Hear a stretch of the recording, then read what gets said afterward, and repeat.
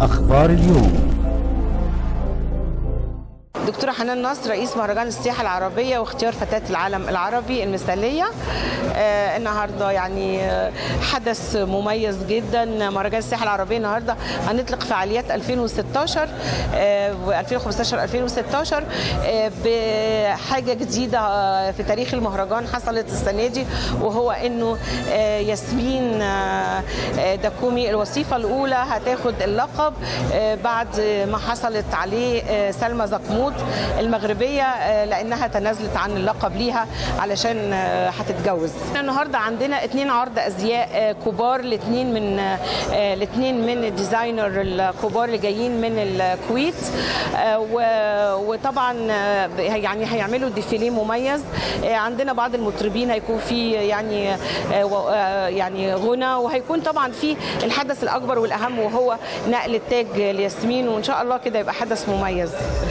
أنا عايزة أقول إنه الجمال طبعا شيء مهم ولكن الأخلاق والشخصية وال, وال يعني الكاركتر أو الكاركتر بتاع البنت هو اللي بيميزها عن غيرها.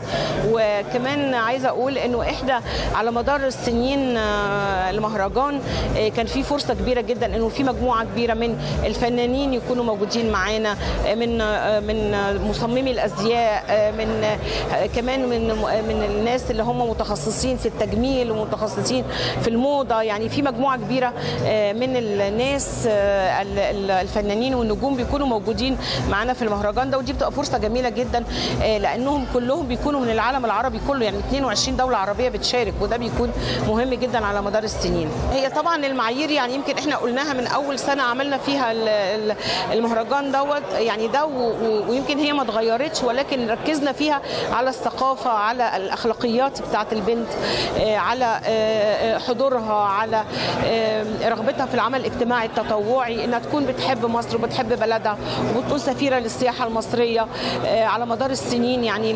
المهرجان ركز على ده كتير جدا ولقينا إنه دي أفضل شروط إن البنت تكون مثقفة ومتعلمة وسلوكياتها متوازنة.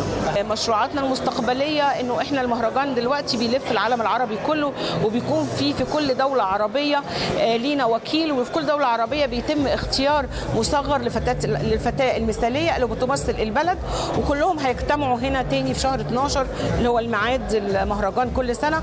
فده طبعا يعني يعد يعني نجاح للمهرجان إنه ابتدى ينطلق في العالم العربي كله. ويمكن عشان كده هتلاحظ حضرتك ان أنا كاتبة إطلاق المهرجان. أنا بطلقه النهارده لإنه ليه هيكون ليه دورة في العالم العربي كله في لفة في العالم العربي كله. بقى عندنا وكيل بكل دولة عربية وينتهي بمصر هي اللي تجمع كل الملكات هنا ويكون الختام عندنا في مصر. ونأمل إن شاء الله السنة الجاية إنه يكون في شرم الشيخ اللي هو 2000 و... نهاية 2015